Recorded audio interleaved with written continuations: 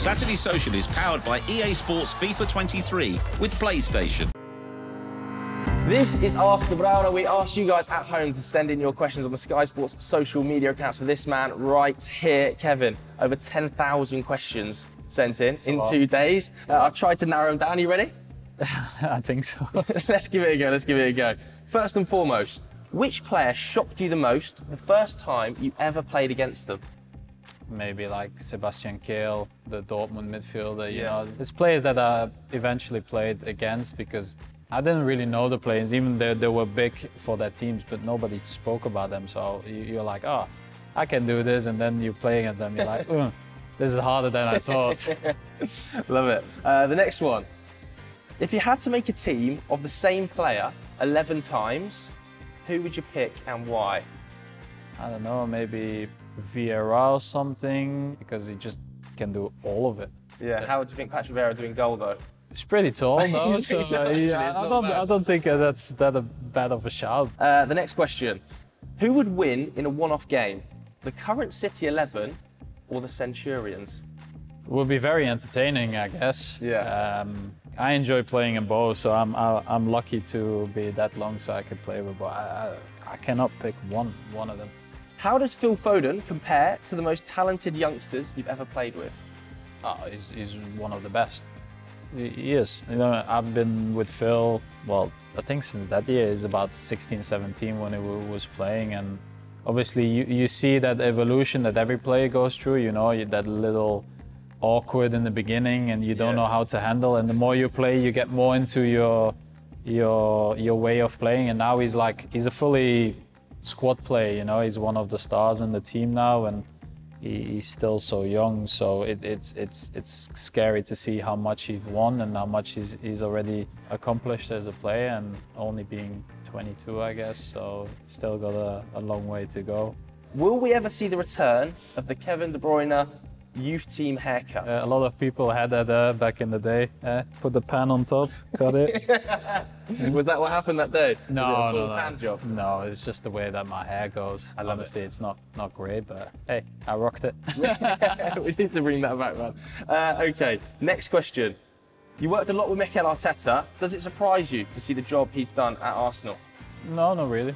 Obviously, I see a lot of similarities with the way that we play, but Yeah, that's definitely. always been his style. So I think when he stopped playing football and he had the opportunity to come here, I think it was for him also a good learning school. And then obviously we had great years. So I saw an evolution from the beginning of Mikel. Then uh, after three years when he left, you know, in the beginning is like he's adapting to the way, but then he's like getting more and more into his role. And I think we also saw that he had a lot of ambition, and then when an opportunity comes, he will he will take that. And I think it's nice to see also that he got the time from Arsenal because Yeah. that's that's a very difficult thing. And That's rare, isn't it? yeah, I'm. I'm happy for him that it, it's going well because obviously you want people to do well.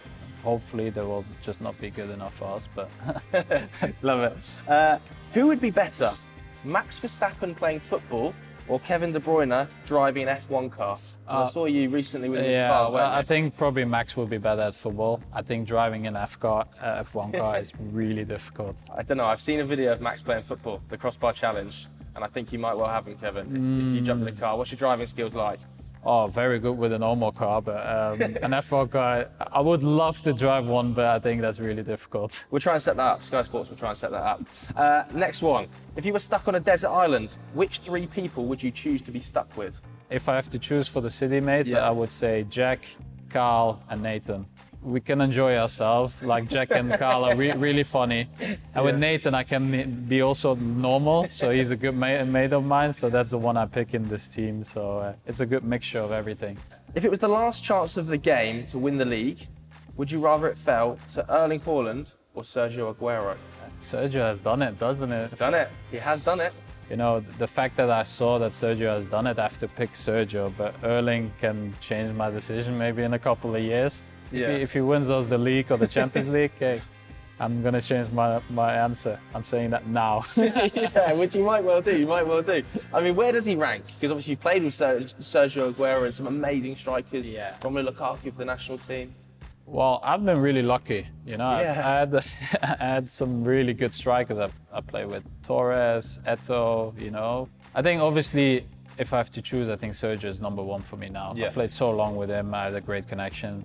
I think if I play another three, four years, that can obviously obviously change. I, I can just say like everybody saw the way Erling started it. It's been incredible. He's a midfielder's dream because the way that he moves in the box, he's, he, you know, when there's an opportunity, it's going to be there. And I think that's the only thing as a midfielder you can ask of your striker. So the rest is up to him. Yeah. How's it been with having like a out and out number nine? Because obviously in recent years you've played more without one, but yeah, but it's so it's, quickly. it's it's not that big of a difference. I know people make make a lot of it, but we've we played with Gabi before, Yeah. and he's a striker. He plays in Arsenal, and Sergio. now everybody says in Arsenal he's a striker, and before he doesn't. So I don't, I don't get that.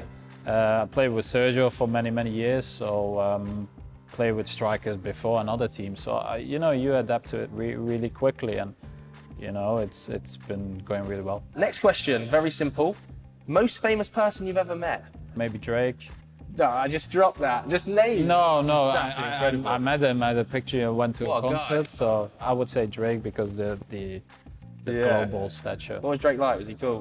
He was, Nice he- guy. well, I, well, I didn't say too much to him. I think he was busy meeting hundred thousand of people. Did he know who you were? I think so. I'm Yeah, not I sure. think he I think so. For sure. Def- definitely. Definitely. Uh, last couple of questions then. True or false? The first time you met Pep Guardiola, he told you you could be one of the five best players in the world.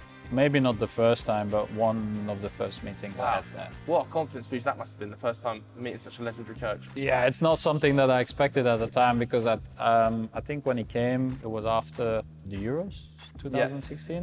So I was I was much later than than the rest. So um, yeah, it's one of these meetings where you meet each other and then, in a way, he tried to to push me to get to a better level. And yeah, he said something with these words, and I thought like, oh, okay, that's that's nice. There's a lot of pressure, but I'll, I'll take it. Last question then, and it's the toughest one of the day. Belgium winning the World Cup or Man City winning the Champions League? Belgium winning the World Cup. Wow. Could happen this year. You could do both. I could do both. Well, well, let's take both, but I don't know. You know, Belgium is so small, and to win a World Cup, it happens once every four years. You you only have like three times the opportunity, four times if you're lucky. So if I can choose now, I'll choose the World Cup. Kev, love that. Thank you so much.